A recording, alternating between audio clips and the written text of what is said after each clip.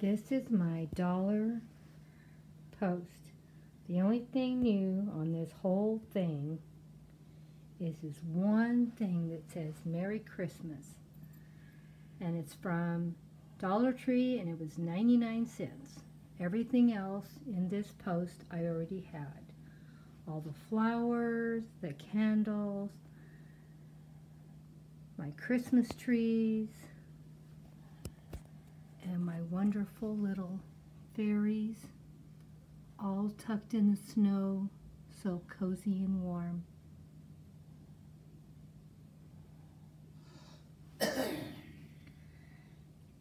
Here's some more little fairies.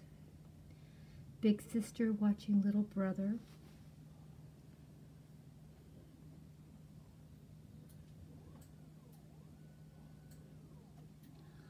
all the ornaments, everything I already had.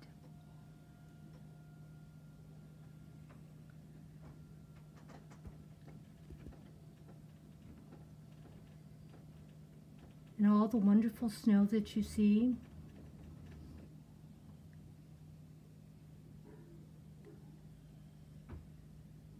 Everything. Nothing is new. Except for our Merry Christmas Christmas hat from Dollar Tree.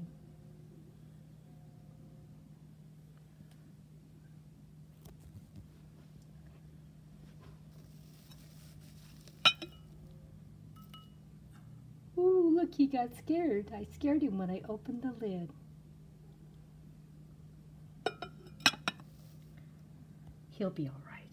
Don't worry.